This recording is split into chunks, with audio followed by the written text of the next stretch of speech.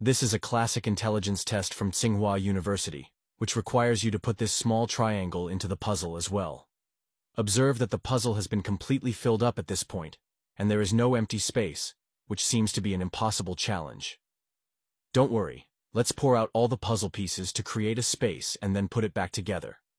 The two largest triangles are placed on top of the puzzle, the trapezoid is placed on the left side, and the bottom left and right corners are just enough to embed a triangle each. If we rush to put together the trapezoid first, we will find that the big triangles can't fit in at all. But as long as we change the position of the trapezoid, the big triangles can be embedded smoothly. But at this point, the small triangle is still nowhere to put. How to do? In fact, there is a mathematical and geometric knowledge hidden here, that is, the ancient Chinese principle of complementarity. We make sure that we use each piece of the puzzle, and try to make them fit as closely as possible. The smaller the gap, the better.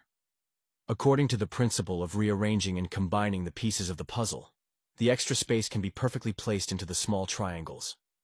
Can you give a little applause?